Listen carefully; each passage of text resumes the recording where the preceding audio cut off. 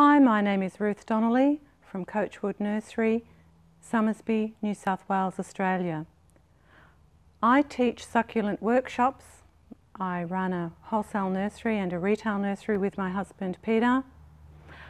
We also do a dried flower emporium, a huge range of Australian, um, interesting Australian native and Australian grown plants that we have for sale for the public and for florists. We also do organic garden tours and organic farm tours, which is an interest my husband Peter has. Today I really would love to share with you a little bit about propagation, in particular propagating succulents. How to multiply your succulents in a very quick, easy way is so fun. It's really one of the most rewarding things to do that you can ever uh, do as a hobby or as, as even build up to something like a commercial operation like ours. This interesting succulent here is quite ornamental and it um, just in the middle of flowering at the moment.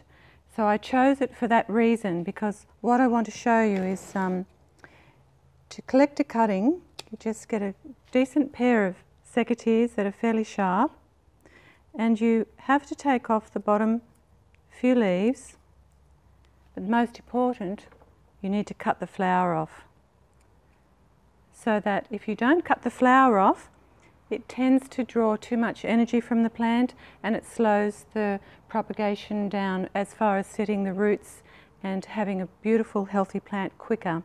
So best to take the, the flower off, take the bottom leaves off. You don't have to take too many off because most succulents uh, can, can stay weeks even just on their own, just uh, dry like that. So this is a, a cutting that's now prepared and ready to put in a little bit of potting mix and you can make your own mix up but we just use a general premium potting mix here. We make our own but you can just buy what is called a premium potting mix from the hardware store and uh, just use that. You don't need to buy a special potting mix. You don't need to buy a cactus and succulent mix. That's quite important. You can if you want but it can be a little bit too dry for most succulents especially for propagating you need to keep them a little bit moister, so we pre prefer to have the premium mix.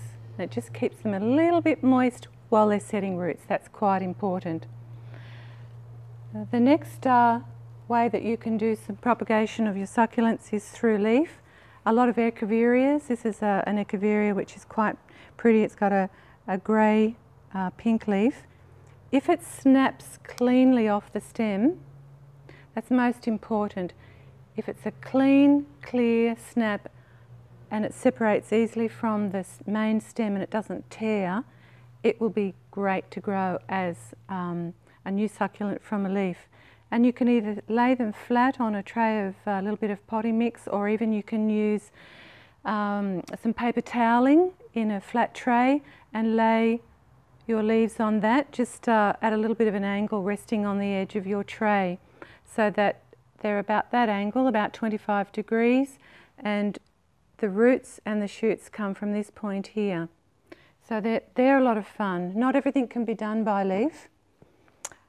This particular Echeveria, it's a gorgeous colour. The, the, the foliage is burgundy and it's absolutely beautiful.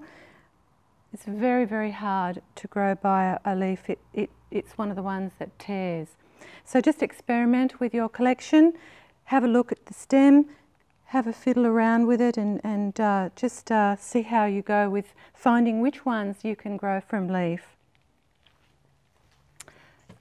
The next way to propagate is to take a, a, a stem cutting from um, an aloe, for instance. I cut these yesterday and they've, they've calloused or hardened a little bit and dried out.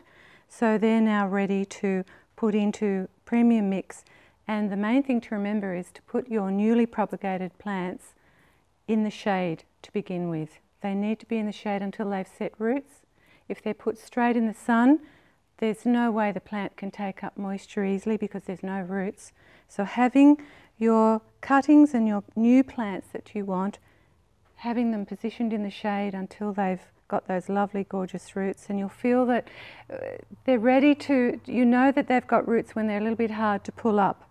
So leave them for about a month before you start trying to pull them up and they're very easy to strike and the main thing is is I would recommend you do the propagation in late spring, summer and early autumn because it's the temperature which helps to pull the roots out on the particular plants as well. Then you can take a, a stem cutting from something like this as well. So it's similar to this crassula. This one here, you're just cutting the main rosette off. Often you'll find roots on it already. Succulents produce aerial roots which are, they're so easy to strike that they're so much fun because that's ready to go. You just put it in your potting mix and it'll set new roots around those existing aerial roots. It will position itself in the potting mix and you've got yourself a new plant within about four weeks. So that's a really fun thing to look out for, existing aerial roots. Then another form of propagation which is, um, it's actually quite important to know how to, to actually divide your succulents, how you can multiply something like this which has got a lot of new pups or babies around the uh, base of the plant. It's not something that you can do easily from a leaf.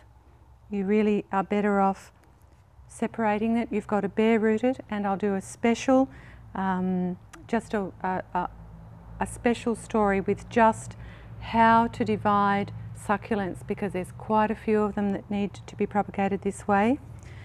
So we'll look forward to doing that with you another time.